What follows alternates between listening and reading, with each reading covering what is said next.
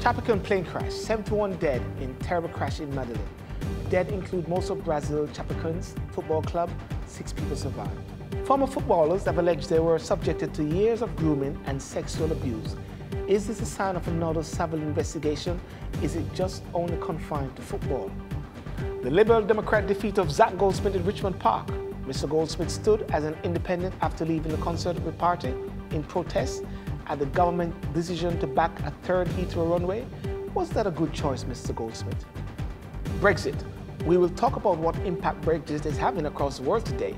We'll always talk about Brexit, even in four years' time, two years' time. And we'll talk about Trump as well, because Trump has apparently saved 1,000 jobs from leaving America. And he's not even president yet. What's going on? 30 youths attacked the police in the UK. We'll be talking with Shani Cadette about these issues and more on this week's In Review.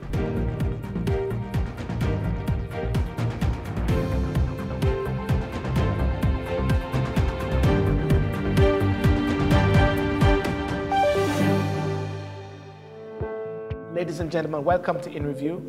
And I'm joined on the red chair this time. We're not in Parliament because guess what? It's cold. Everybody's trying to get away from the cold. But I'm joined by Shani Cadette. Shani. Hey, How Sylbourne, how are you doing? Fantastic, Good to meet you. fantastic. Shani Cadette is an educator and you specialize in maths, isn't it? That's right. Definitely. We're going to talk about that impact about um, maths and young people when we talk about um, the young people um, actually beating up policemen. That is Yes, shocking. So that's we, we'll really talk about that later. shocking, But yes. um, you know, the, this plane crash in Chapecoense, you know, um, where over 71 person died. Dead included most of Brazil football clubs. Six people survived. Yeah. I mean, what do you think about that? I mean, I mean, this was a plane which apparently they said ran out of fuel. Yes, uh, I think it's a catalogue of um, events that took place before that crash happened. Um, what, what I uh, understood was that um, they had an opportunity to refuel at one stage Yes. before getting to their destination. And it so happens that after a while, um, when they were coming into land, Mhm. that um, a plane was given priority over that plane. Yes. and it meant that they had to circle Yeah. a few times, um, I think 13 minutes or so. Yeah. And apparently they ran out of fuel. So it, it's looking like it's a tragedy based on, you know, the decisions that they made leading up to the crash. And that is the Yeah. at the cockpit tower, whatever, the, the Yes. control tower. Well, I think, um, yeah, uh, it may be the pilots or, or the, control making Yeah. a decision as to, you know, when they should Yeah. land. So I think, you know, it's, it's, it's not just like a tragedy, it's, a, Mm. it's the decisions that were made before that I That's think, very interesting because I was listening to one of the radio stations and they were talking about um, um, the, the radio control lady was talking to the captain and the, the, the person, the pilot. yeah, But what was very in, interesting was what they said is that the plane that got priority, yeah, their level of emergency or whatever wasn't as deep as this particular plane. that's correct. Yeah, But at the yeah. same time, what they said was Mayday call didn't come out, which was which would sort of trigger everything right yeah, there. Yeah, yeah. Because what I understood was that as the plane ran out of fuel, um, there was electrical fault, Mm. Which meant that their controls were compromised in some way. So, um, you know, yeah, I mean, again, you, you're just highlighting the fact that it could be pilot error or Yeah. the, the, the, the flight crew not following Yeah. procedures. Yeah. Yeah. Well, it's, it's very sad to hear this. You know, I mean, Yeah. um, and I think today um, they're having thousands of people in Brazil and football teams Yeah. around the world also is wearing black armband. Yeah, But I tragic. think one of the central points, Shani, isn't it that today you are here and tomorrow you are not. honestly, I think we need to just take a grip and, and Mm. you know, it's God, God that gives the grace. Mm. You know, you know, it's God's grace that we're here. Yeah. You know, so we cannot say that tomorrow we'll be here. We, we cannot claim that. You know, when I think when I, when I when I thought about it as well, you know, I, one of the things I thought about was how it's about count your blessings. You know, like I was speaking to someone the other day, and the person said they were suicidal. Oh, sometimes I'm suicidal or blah blah blah. You know, Mm. and I said, Have you seen this picture? on YouTube where this little boy in Africa was head was down in some dirty water drinking water because Okay. that was the water and it was dirty water. Yeah. And it's about Yeah. counting your blessings. Yeah. And with so much things that are happening in the world, but it's like people cherish life as much as possible, you know? That's that's correct. Yeah. Yeah. Yeah. Anyhow, you know, our condolences to the family and everything like that, and um, you know, yeah, and God's peace, you know. Now, still on football, as as we mentioned before, the, the former footballers of Alger were subject to years of grooming and sexual abuse. Another sign of Savile investigation. This is big. Um, It's very big. Um, I'm quite shocked by what's you know what the revelations, um, recent revelations in Yeah. football. I mean, it's really, it's massive. I mean, Mm. this is bigger than Savile. yes. You know, because it's more than one coach, and w- the same. But what's what's similar about the Mhm. Savile incident is the fact that those people who were coaches were in positions of responsibility and power And trust again. and trust. So, um, you know, if, if someone wanted to make the allegations, which I think on occasions a, a few of them did, Mm. they were not listened to, you know, either by the, the, the officials or, um, or the clubs. yes. You know, they were not listened to, but it's all coming out now, you Mhm. know. Um, you know, historical child abuse is, is uh, you know, is terrible. And then at the same time, the government, um, with their the chair, I think about three different chairs have resigned from the, the government inquiry into Wow. historical child Yes. abuse within government, parliament, and all. it. It's Yeah. like an epidemic now. It- it's, it's very, it's very bad. you know, Uh, it's, it's very shocking. Um, yeah, I, I just can't believe it. And as we speak, there's more revelations Yes. coming out, and I think there's about 300 mm. Uh, children that were affected in that. I yeah, it's- and, and, and I think they said there was an NSPCC land which was specialized, which was Yeah. set up, and they got so many calls. You know? Yeah, But yeah. then the key thing now is this: when parents now having their children or into football now, when Yeah. they go to school now and the are they going to be looking at the coaches now and saying, mm, you know, looking at them sleepovers and everything like that now? The innocence, Exactly. Yeah, yeah. you, you, you have to think as a parent. yes, You have to think twice as to, well, what you know, where are my children? yes, And uh, can I trust yes. the person who I've left them with, Yes. who I, you know, put my trust in Yeah. to teach them football? No, that, that is know? serious because I, I, my, So- I, my son likes football as well, you know what I mean? And um, it, it is something which it makes you really think, you know, Yeah, as much because exactly. As sometimes what they say is normally the person who is closest to you sometimes who's the abuser. Exactly. Mm. Yeah. It's it's shocking. So this, this might be something sure. which is Yeah. bigger Yeah. than Savile. Yeah. And of course, what they said again, it's not just in football. Apparently, it's going to stretch in tennis, in swimming, in the whole shebang. Wow. Um, I didn't know that. Yeah, that's what that. they said. They're Yeah. looking at it for anytime, Yeah. wherever there is vulnerability and young children, Children, also. yeah. yeah. Yeah. Mm. Yeah. Now, the, the, the big news of the, the week recently was Zac Goldsmith Okay. um, yeah. losing his seat in Richmond to the Lib Dems. Um, Zac, of course, reason for actually triggering the by-election is because he's a man of principle. Okay. Now, if Yeah. he's a man of principle and stood his ground because of what he believed in and what he promised, Mm. and he lost, and Nick Clegg, who actually went back on his word, and he also lost. So, what is this saying? Where's the ground? Is it that, is that there's no more principle? It's just about winning?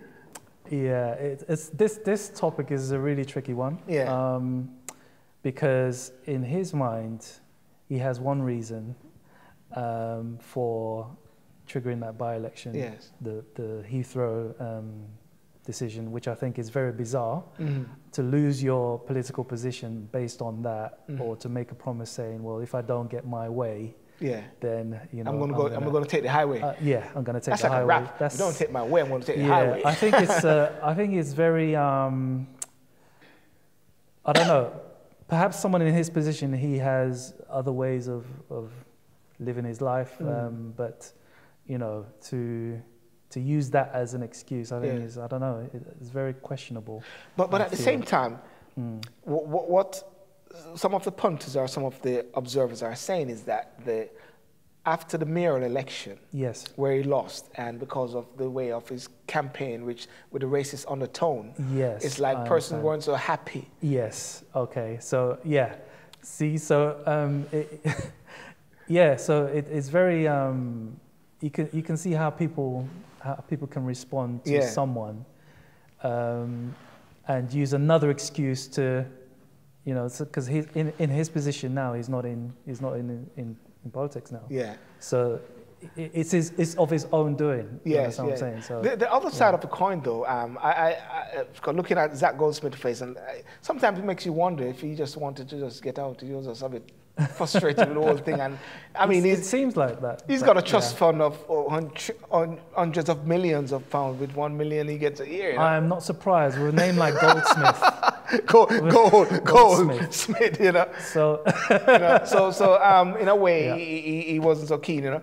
Anyhow, I- I'm sure Zac will be all right. we I'm don't want to waste no more time on I'm Zac, sure, you know. Sure. But the, the Lib Dems at the same time, they are saying Yeah. it was a referendum on Brexit. As we're going to touch on the Brexit next, you know. Yeah. We're on to Brexit now, and Hmm. the, Lib- the Lib Dems is saying that campaign or that election was Hmm. a referendum on Brexit, and saying that we want to have another referendum. It could be because you know with Jack's uh, Zac sorry Zac Goldsmith's Mm. position, you know he was a, a, a leaver, so Yeah. and his constituents are Remainers. Remainers, yeah. So obviously, you know they're gonna take a view on you know they're not even thinking about Heathrow, they're thinking about maybe uh, as you say Brexit Yeah. and wanting to get someone who represents their views on Brexit. Yeah. So That, that, know, that, perhaps that, that's it's- so, it's very tricky. Yeah, that, that's so interesting yeah. as well. And I don't know what the viewers think, but Mm. there's another side of the coin as well is that people are saying that with the, the whole Brexit factor there, Mm. um, because the margin that she won wasn't that great, Yeah. they're saying, should, they, should Zac then seek to trigger another election? Since, then- since, since, since, since Yeah. people wanting um, another ba- referendum Yeah. because of um, the, the, the thin margin of 48 and 52. per- 48, 52. Yeah. But is I, I question that that um, that notion really. I mean, 48 to 52 is that close? Because remember, it's a binary vote, isn't it? Mm. Yeah. It's either yes or no. I guess I know, yeah. So it's, it's it's half and half. Mm. So like that that translated to about two million. well, two yeah, million it was, it, well, it was, one was 17 point something, one was, I think, Yeah. about 15 or 16 So- million, yeah. When people say it was close, I don't really think it was close. Yeah. Based on the fact that it was a binary vote, either yes or no.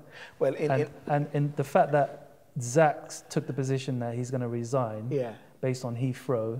And if you compare that with Cameron saying, um, okay, giving the British public the vote yes. and then taking the side of the Remain, and then I remember one time when he was was, quest- was questioned on that, Mm. um, uh, what what if the people vote to leave? And he had no response. Yes. So you can't So there was, assume there was no plan. that- plan yeah, to there was no plan to to take us out of out of um, Mm. the EU. You know, Yeah. so because they felt that they would have won it.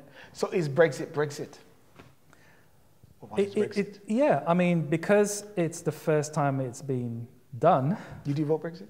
I did. Oh, you did? I did Oh, my Brexit. days. This I guy's did. brave, man. I oh, did. Uh, you're going to have to get security and- guards to get you out of here, man. You know, walking down the street, man. I mean, people brave. man, you know.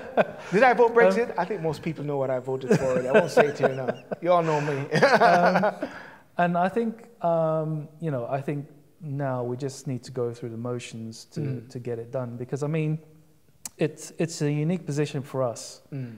in a sense that we now need to define how we want to be, how we want to run our, our country. Yeah, you know? yeah. So without the, you know, the strings of, of So you're of- of taking it from a, you're taking it from a nationalistic point of view, then. I, I, I would say so. I mean, um, I think immigration in the way that it is is unsustainable in the sense Mm. that um, the way the British society is set up, Yeah. the way the um, services are set up. Yeah.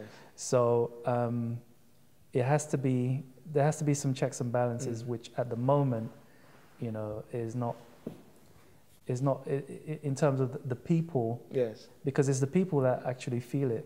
Yes. Yes. You know, like you know, with respects to schools, with respects to hospitals, Mm.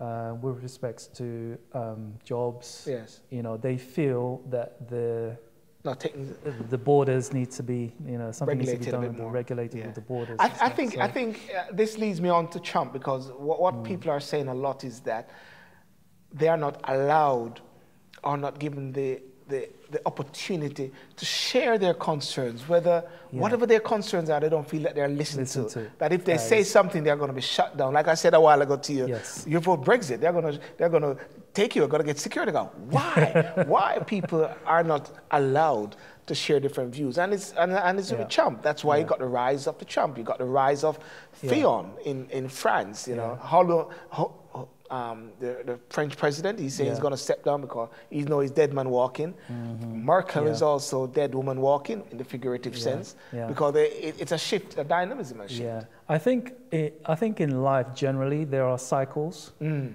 um, and you know, and it, it shows the power of democracy Yes. because there's always that. It shows there's balancement Yes. in in the way things are done. Yes. Um, you know, for instance, during the Bush era, you know, now after the tragedies, 9/11, so Yes. then came in, then came Barack, Yeah. and then with Barack, you know, he has a lot of liberal views. Yes. Yes. Um, now you have to think like America is a Christian nation. yes. A lot of people don't, don't want to talk about Christians. Yeah. Yeah. The, And, and, the, and, the C word is like a Yeah. cursed word. And that's why Trump was saying, Trump Yeah. was saying that uh, there are certain particular laws that that is discriminate against Christians. Exactly. And he said he's going to have to stop that and Yes. and uh, make America great again. You know. Yeah. But you know, but Trump is that is something which is happening. Um, Yeah. They're talking about the recount as well. I think they did a recount recently, and Hillary got two majority. I mean, what's what's the point? I I, mean, I the college system was was based on the fact that not many people can vote in just one state. Yeah, and control that, everything. it- that Like state- California, for Yeah, argument's sake. exactly. And I think most of the votes came from California. So a lot of people saying, "Oh, she won the popular vote." So what? Yeah. You know, the college system was designed for To fairness, is is to address that that thing. So. Well, um, Trump, well, Trump said that um, Yeah. he got the popular votes when he take away all the, the, the, the fake votes or the fraud votes. the thing is, the thing is, if Hillary, if Hillary had won with the college system, no one would be talking about recounts Yes, and, and yes. stuff like that. They would have said, "Oh yeah, we expected that to Mm. happen." Yeah. So um, you know, he won fair and square. Okay, well, finally, um, Yeah.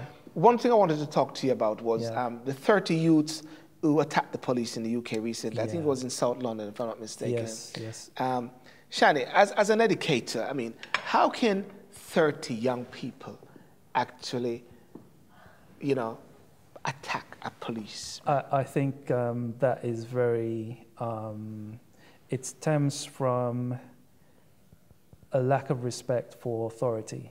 Um, and if those children involved had a sort of background of doing that, Mm. um, then you know they can feel emboldened or Yes. empowered to to use that attitude to people of authority, Mm. such as the police, which I think is is terrible.